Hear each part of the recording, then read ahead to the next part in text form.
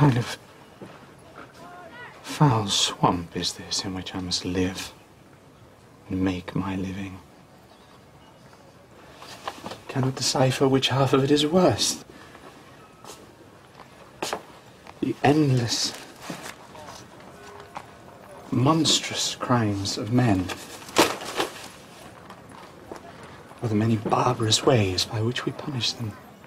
For little more than the theft of a penny, we flog, brand, burn, maim, and jail them or dispatch them to God-forsaken lands. Hang a boy.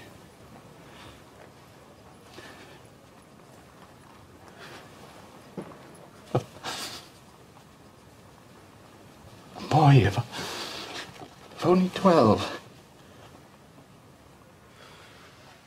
This, this is so seeped into my guts and bones, becomes so usual to my life that it turns the murder of boys into a mere prologue to the main business of the day. This business of ours in the civil court,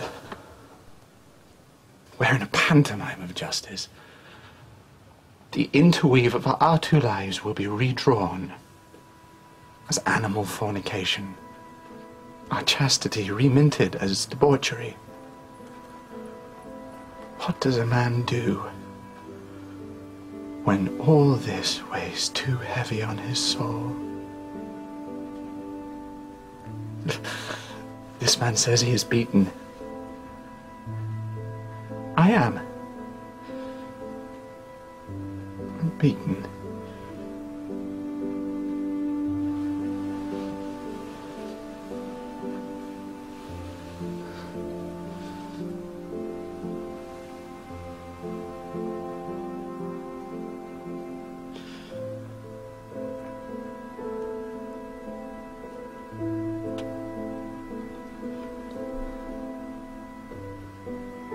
Then this man is not William Garrow.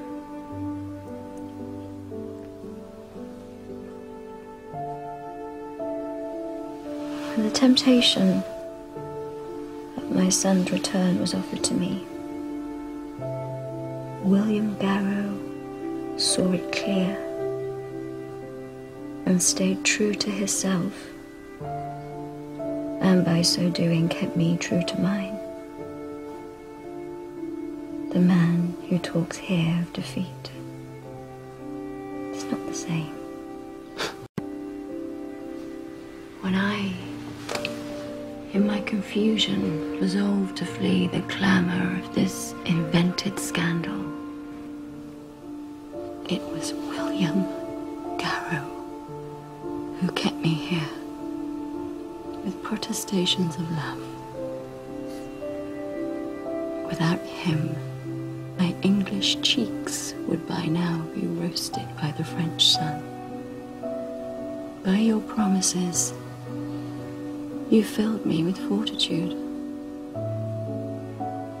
Now,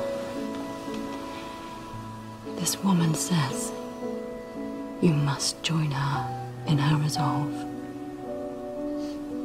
or your pessimism will conjure up the future you fear.